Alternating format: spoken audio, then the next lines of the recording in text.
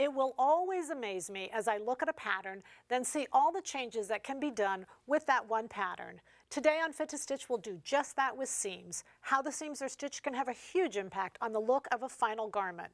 Joining us today is Billy Burke, the queen of seam embellishment. She has been doing it for over 60 years and has so much knowledge to share as we walk down that seam embellishment path step by step. Join us.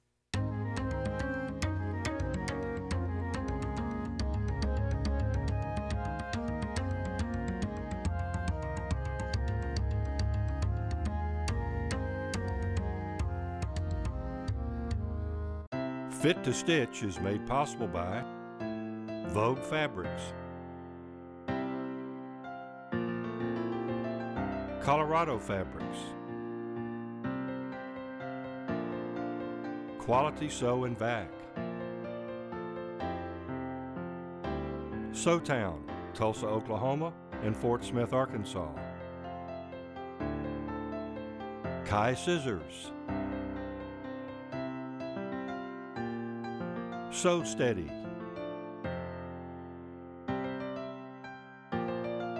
Benno's Buttons. Allbrands.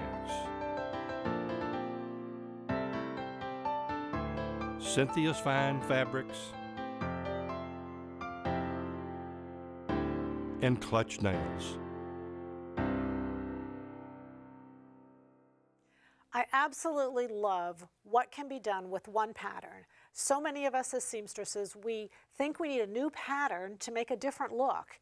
And really what we need is to understand what we're going to talk about today, which is embellishing the seams. I'm going to invite Billie on because she is, I mean, I've traveled this world and I'm going to tell you something. I don't think I've seen as beautiful of work as what you have done. And so you're going to share with us today. How did you even get into this seam embellishment? Uh, it started for me about 35 years ago with a, um, a real nice show that that uh, was in the fabric store. That was my favorite fabric store. They had gotten in a, a shipment of cotton batiks, coordinated uh, fabrics and they had put them out in such a way that it was just irresistible. You wanted all of them, one of those. All, all of yeah. them, yeah. and I was about to start on a blouse that needed two coordinated colors. So I bought this. And I'm sorry to say, when I got it home and I made the first seam, I didn't think it, they made it nearly as well as I thought they would. So, you know, we all do that. Yeah. We kind of decide that we could have done it better. Yeah. Is that fair? Well, we could have done it better. I, I could have chosen better. I There didn't. I, I was very uh, disturbed by that. So I looked in my stash, and I found a, a purple ribbon that was about an eighth of an inch wide, and uh, there was a spool of it, and I used all 10 yards of it Wow. to make the blouse with uh, dividing, putting that ribbon in all the seams where the two fabrics came together. And I thought when I was done that that purple ribbon really married them. I think you're right. I think that's incredible, the difference to me between this fabric and then, of course, this fabric here. It just ma it makes it look like this was just meant Yeah. to be. So that was the beginning. That was the beginning. First time you ever done it? That's the first time I did it, and um, I was very satisfied with the result. I bet. But better than that, I realized how much fun I had putting it together. And so since that time, I am forever looking for different reasons to embellish seams and for different techniques to Ah. so embellish now it's the joy of doing it, not just the exactly. the why. Exactly. And you actually enjoy the sewing, the stitching part of it. Absolutely. All right. Okay. Uh, another reason that I found for embellishing, uh, it became evident when I was using uh, striped fabric Okay. or uh, print fabric, where I wanted this, the seams to match, to have everything match. Well, when you're doing a straight seam, that's easy. You can Right, you can right, match right, the seam very well. But when you don't, you're Oh, so I can see where this would be hard have- because of the angles. Yeah. And and so I embellished it, which difference. gave it a, a buffer, and the buffer made the matching less important. the eye, it interrupts the eye. It's Yes. just beautiful. And so then you apply it to, Uh, this this garment uh, there was a print, and because it's um, a fitted garment, it has curved seams. You can't match the whole seam.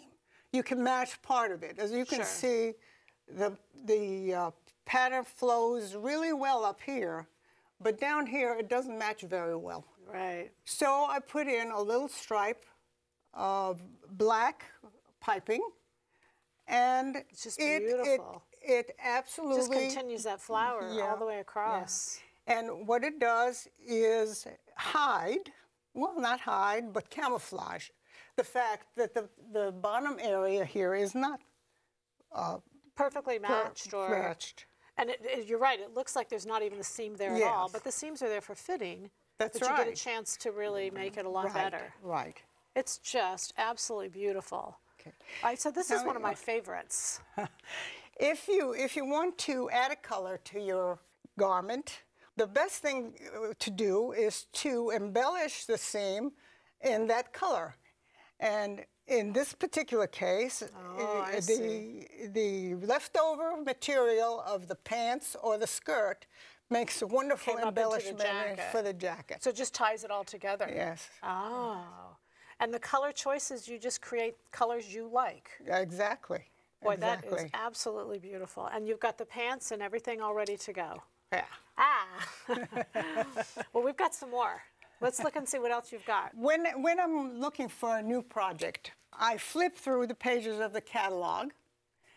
We all do that, I and- think. yeah, and I you take something out of those catalog pages a little different than I think I do. If I, if I find, uh, I find that I am really drawn to a pattern that has good style lines. And if the good style lines are different, unusual, and if they are innovative, then that pattern gets bought. Oh, so it's what decides It's- yes. yeah, For you, it's what this decides is the yes.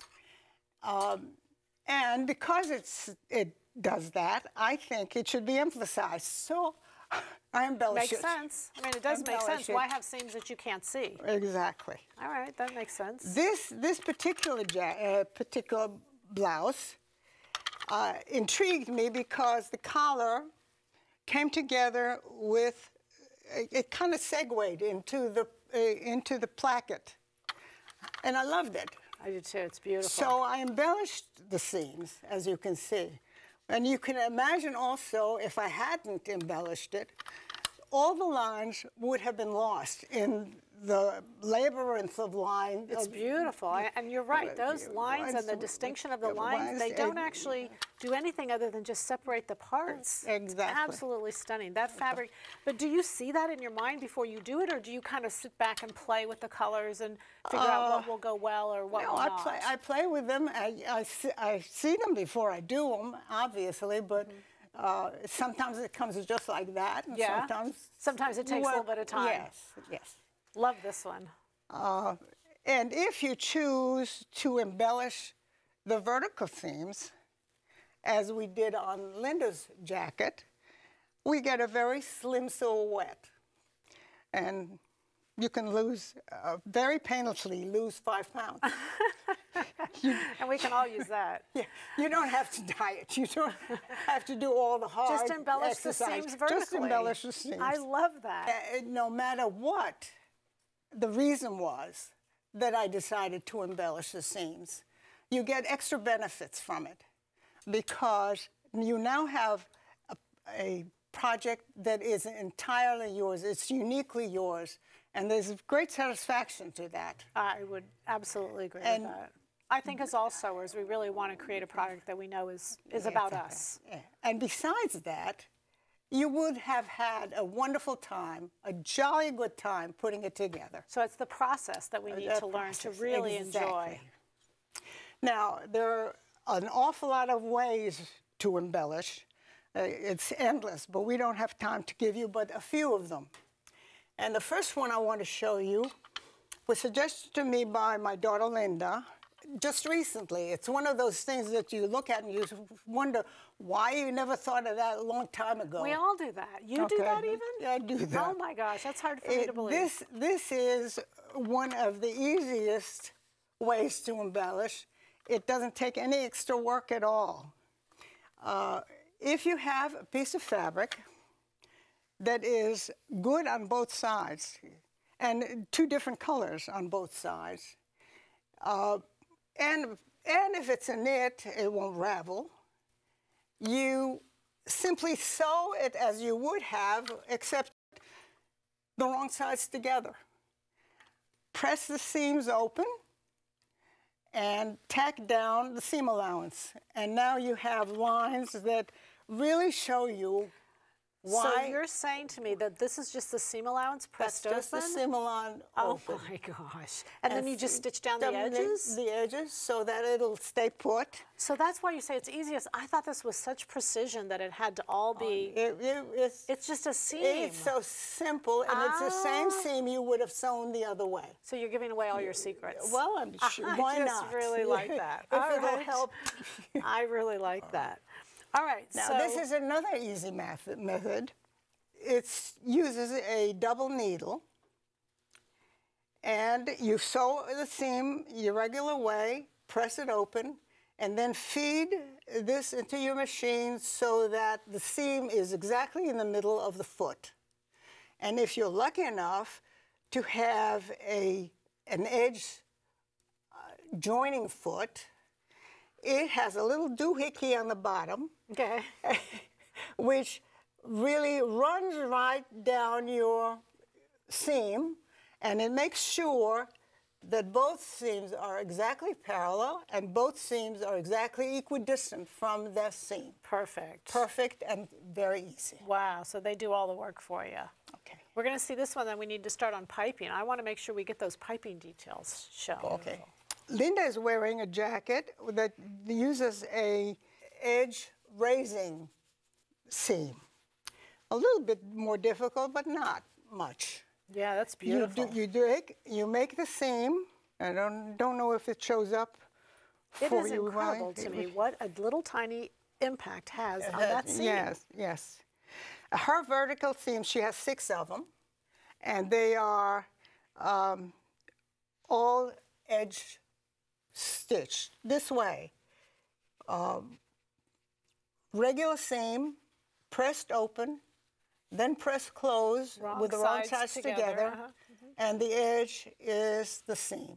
Okay. And with that same wonderful foot, the edge joining foot, you can make a stitch about an eighth of an inch away from the edge, and that uh, will give you the nice raised edge. It's absolutely beautiful. Okay. Now do we get to Now- go to piping? if you're ready. I'm so ready for piping because I love it. I think there's just so many Okay, things it is we. my favorite, yeah. and uh, my favorite way of you, my favorite thing I use is rat tail, which is rayon and it's flexible and it's washable. It comes in two widths, an eighth of an inch and a quarter of an inch. Okay. The hardest part of this is to get the, the exact, carefully cut uh, bias uh, strip.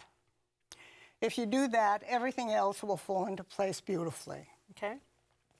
The bias strip has to be the, tw- twice the width of your seam allowance and twice the width of your Decided rat whether it be quarter inch or tail, eighth inch, whatever yeah. that is. Okay. Okay, so in this case, I needed 5 eighths and 5 eighths for the seam allowance. Okay. I, I needed, folded it in half, wrong sides together. Yeah, And and you just- needed an eighth and an eighth for the rat tail, which means altogether uh, one and a quarter inches for the seam allowance and. Uh, The two eighth of an inch. They can do the math. Uh, well, can do the uh, math. Okay, Whatever Okay. their variables All are, right. they can add it all up together. exactly. Okay. Make sure that the two edges are even and based close to the rat tail. Right. And you can use any kind of foot you want to to get close to that. Exactly. And this one you've done. This is beautiful. Yeah, that. This that- is all the way finished. Yeah, ready to be put. So your precision here is to make sure these edges are even. Uh, Okay. Exactly. All right. I sew this, the seam on, I sew the piping onto the half of the seam. Okay. And this time I'm careful to have three edges together. Okay, so that would be the two there and the one bottom. And Okay. then you add to it, uh, you move your needle so that it will sew it. And clean it all out- up for you. and- Make it nice and crisp. yes, And, and, and it will sew it by itself very much if you just keep Get that needle just in the right position. That makes a lot of sense. Then uh, put, put your second half of the seam on top of the first one. Okay. And uh, make sure at this point that you've got notches that you matched and got the fit that you had originally. Sure. Sure. And, and then sew it maybe a click or two of the needle moved over so it's exactly next to the rat tail. in that same space. And, and this is what you end up with. And that is just going to make any garment Yes, stunning. Absolutely. I love Love piping. piping. And when you've practiced enough and you've done it, why not double piping?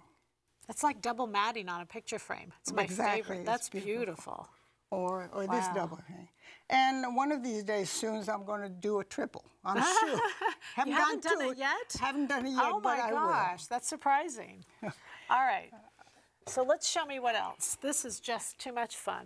So this is where you've actually done the piping on a will. jacket. And I did the piping on a jacket by using this perfect. fabric, Okay. which is a print. This is a, a wool um, woven fabric. And I know that the back of it has all the colors of the pattern, and Oh, so therefore the it's going to oh uh, be very compatible. And I used that for the piping, and I got a really nice line. It's beautiful. So this is when you really, more so than this one that didn't marry very well, this one This marries married much better. better. exactly. This one worked a lot better. Speaking of marriage, it's been a few years of yours. Uh, my my anniversary tomorrow is years? 64 years. 64 years married, so you know all about marriage. it's not a very long time. it's not a very long time. But you definitely know what works together and what doesn't. yes. I like that. All right.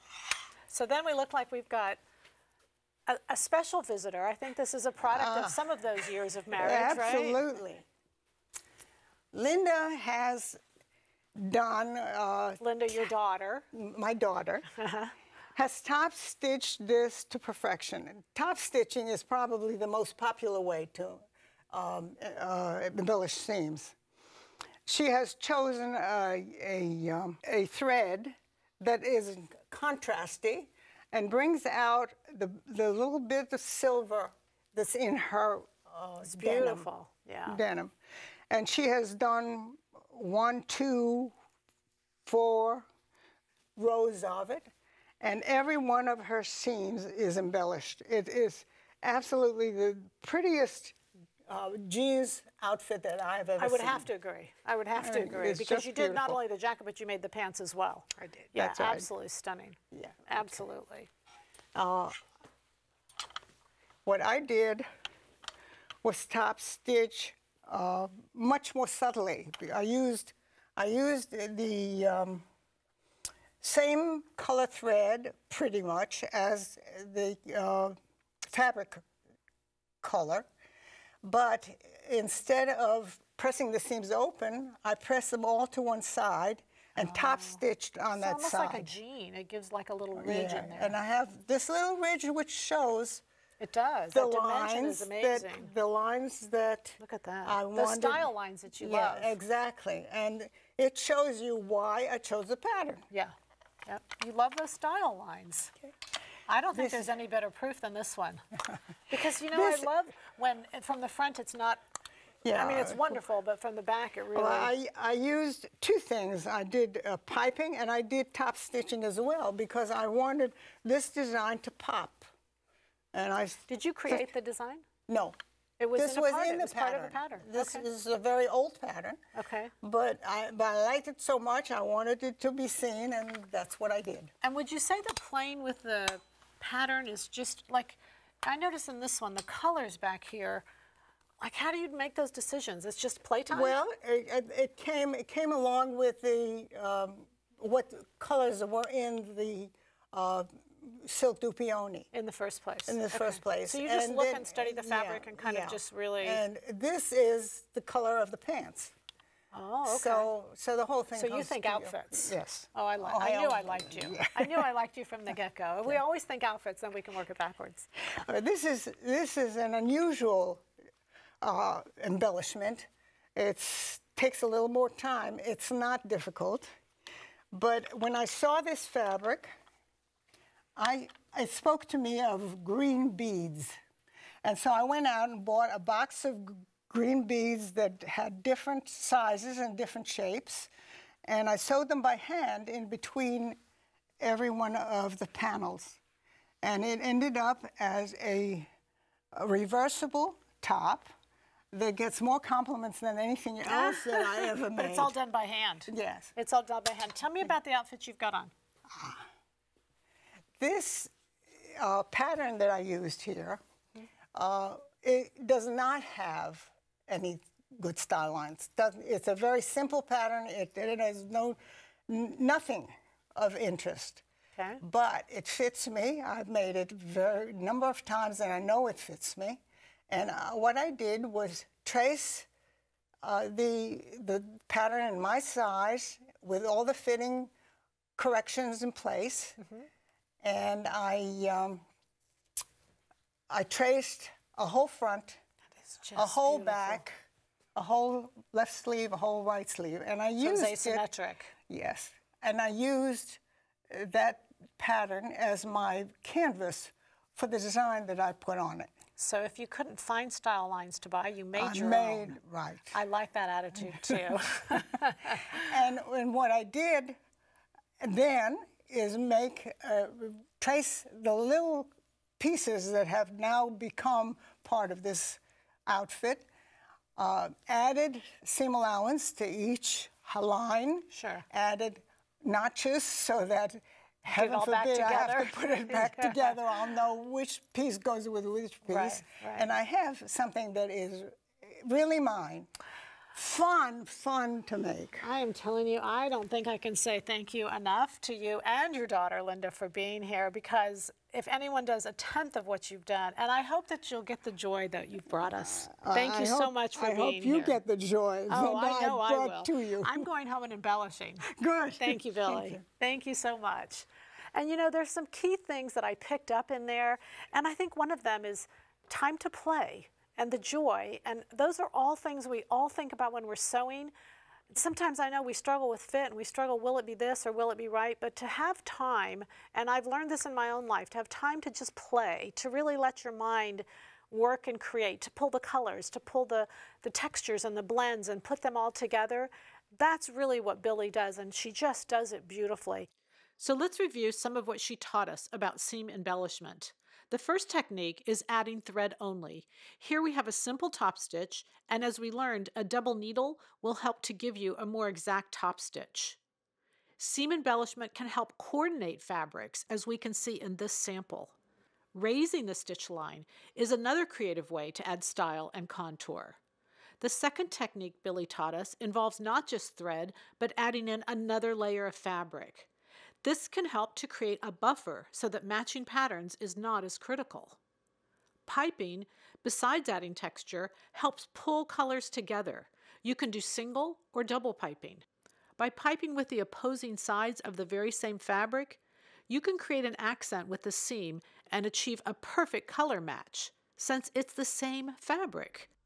Billy has so inspired us to get creative with seams.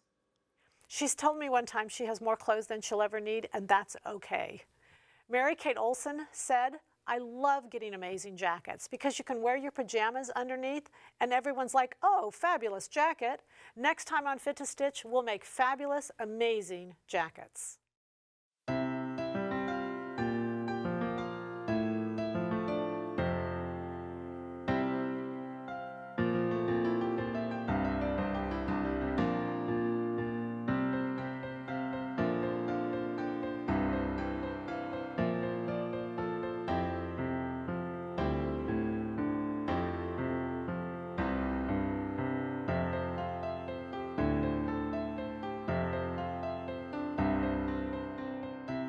Fit to Stitch is made possible by Vogue Fabrics,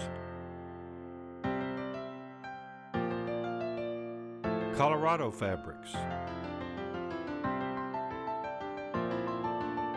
Quality Sew and Vac,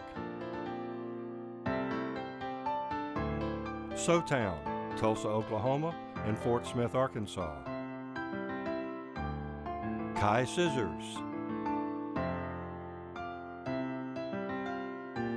Sew Steady.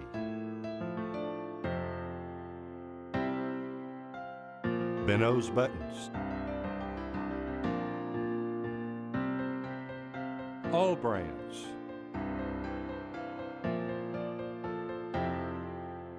Cynthia's Fine Fabrics. And Clutch Nails.